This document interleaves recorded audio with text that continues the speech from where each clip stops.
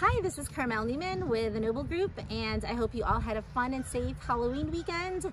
Now that it's November, it's practically practically Christmas, right? Because we tend to skip over November, but we're not gonna do that because we have lots and lots of good events that are coming up this month.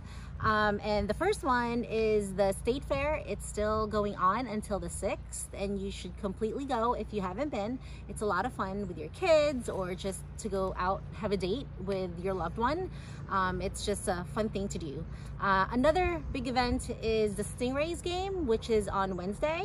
Um, you should totally go. It's on the 3rd. Um, and if you can't make that one, there's, they have a lot of home games in the month of November. So go ahead and support the local team and go join a game. Um, another big event is the balloon and um, polo match. It's the balloon festival with the polo match. There's live music and um, the hot air balloons that are coming up. And then there's a polo match, which is super, super big in Charleston. It's the Victory Cup.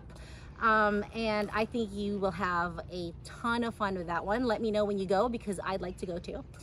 Um, another big event is my favorite one, Black Friday. You know, it's November.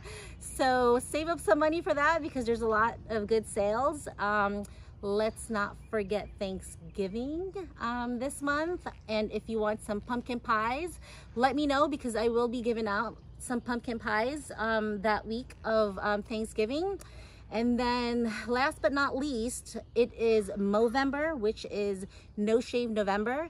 So for all of um, the men out there who want to grow their beard or their mustache um, for um, men's health, uh, to promote men's health, uh, please do so and more power to you. So lots and lots of good things. Um, I will list them below, so check them out. And if you have any questions, always call me.